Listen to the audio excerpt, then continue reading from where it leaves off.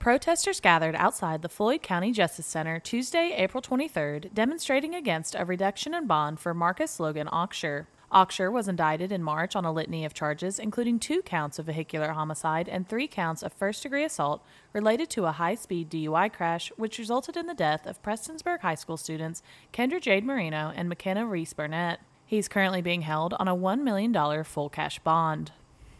Today we're showing that we care and showing our voices and that we're not just social media people. We're protesting because our voices have always been shut down and he pled not guilty to murdering two little girls, but everybody knows murder is murder. At Audiology Associates of Prestonsburg, you can live your life the way you want and find the freedom of better hearing. With 40 years of being in the hearing care industry, you'll experience patient care that is specific to you with exceptional follow-up care that ensures your hearing and balance needs are being met. Audiology Associates at 1428 North Lake Drive in Prestonsburg.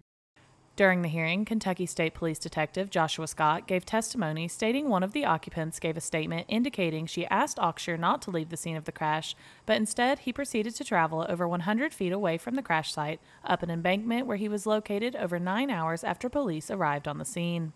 Once transported to the hospital, Auksher was found to have a blood alcohol content of 0.018 despite telling police he had consumed no alcohol.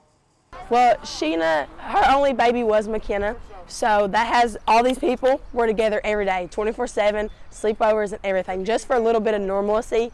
But it's never going to be normal without Kendra or McKenna. And he's took away my twin sister and my best friend. Auksher's legal counsel is currently seeking a bond reduction to a partially secured $100,000 bond.